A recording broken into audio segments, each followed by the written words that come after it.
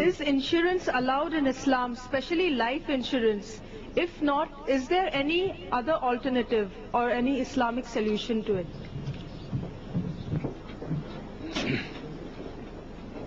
Sister posed the question that is life insurance allowed? Is insurance allowed? Especially life insurance. And if it's not allowed, is there any other alternative or is there any other solution? The concept of insurance is a very old concept. The people of the community, they pull in the money and the money is utilized at the 11th hour. Maybe you have an accident and case of emergency, that pooled money is utilized. It's a very good concept. But coming to life insurance, is it allowed? According to a fatwa given by Maulana Muhammad Abu Zahra of Egypt, he said that insurance on cars for its repair is lawful. Though in itself it is unlawful.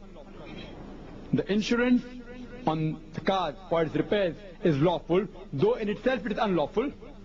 Overall, it's allowed. As a system, insurance, the way it operates is unlawful. But for cars and repairs, it's allowed. But life insurance, in which you give a monthly installment, give a monthly installment, and if any mishap takes place, you get your full amount or double the amount. And at the end, if you survive, you get your full amount along with profit. This is nothing but riba. So in short, any investment, whether it be life insurance or car insurance or property insurance, if it involves riba, it is haram. Any investment which deals riba, it's haram. Today that we have today, the life insurance corporation, as far as my knowledge goes, the major of the investment is in fixed money market. That is, it is interest based. So whatever money, suppose you got a policy of about 1 lakh for about 10 years. So each year you keep on paying 1 lakh rupees. Each year. So each month you pay an installment for particular thousand rupees. And if you die of an accident in between, even though you have paid only two months installment, you get double the amount. You get 20 lakh rupees. If you die a natural death, you get the full amount before maturity. But if you survive for 10 years without dying, you get your full 10 lakh rupees along with profit. Now where do they give this profit from? The major investment of the Life Insurance Corporation here is in fixed money market, which is riba based, interest based, it's haram. If you know of any institute which gives insurance which is not based on money market but based on shares, equity it's allowed. Recently, a few days ago, I came across a form called the Golden Bond, which operates in London, in England. There, you invest an amount. The minimum amount that you have to invest there is two and a half thousand pounds. That's about 1.25 lakh rupees. And after you invest the, that amount, they take that money and invest it in shares and equity, which is allowed in Islam. Shares and equity. They don't invest in fixed money market.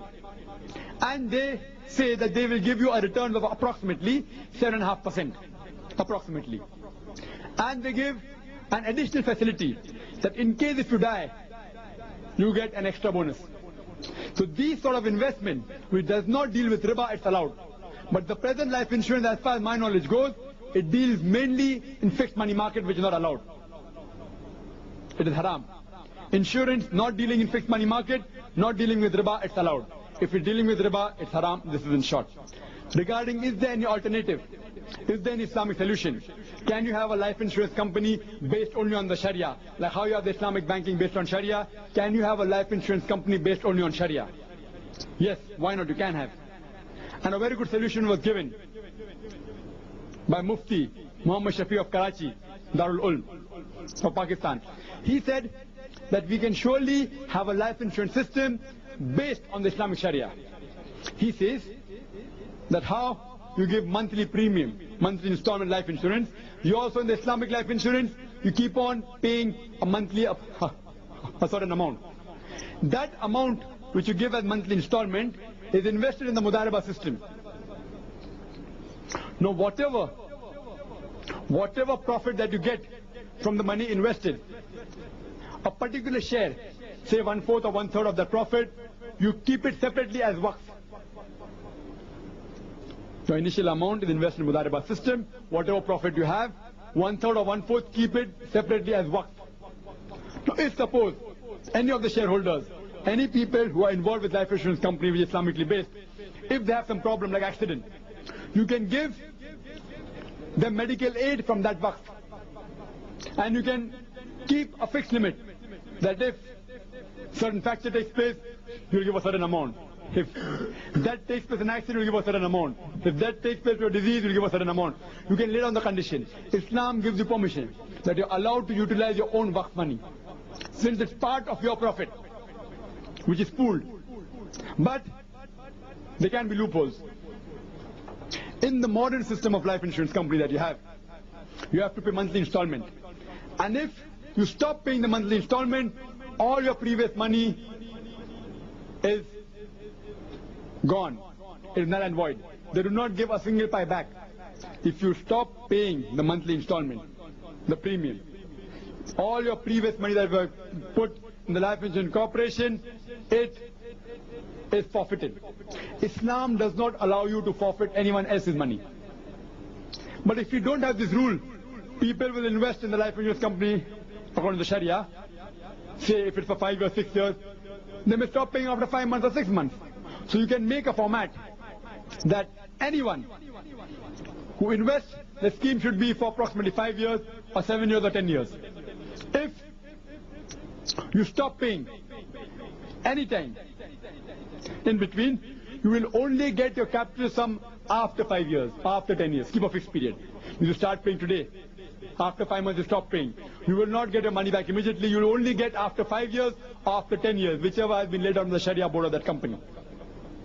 And secondly, if you stop paying before reaching half the time stipulated, say the insurance policy is for five years or ten years, if it's for five years, if you stop paying before two and a half years, then all the profit of your money which you paid for one year or two years is forfeited.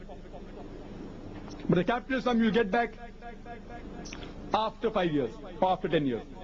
But if you stop paying after half the time, you will get the profit. So it is also very much viable. It's possible to run a life insurance company based on the Islamic Sharia. I hope that answers the question.